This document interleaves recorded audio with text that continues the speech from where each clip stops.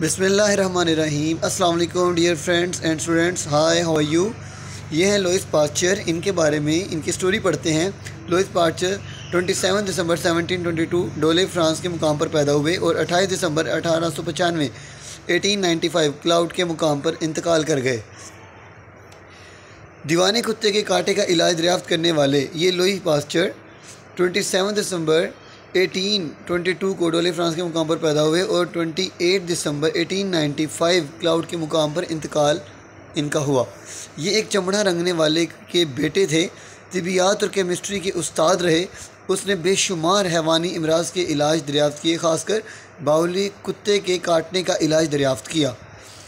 Thank you for watching my video अगर आपको video अच्छी लगी इन्फॉर्मेशन पसंद आई तो मेरे चैनल को सब्सक्राइब करें, वीडियो को लाइक और कमेंट ज़रूर करें। और अपने फ्रेंड्स के साथ भी शेयर करें। थैंक यू अल्लाह हाफिज़।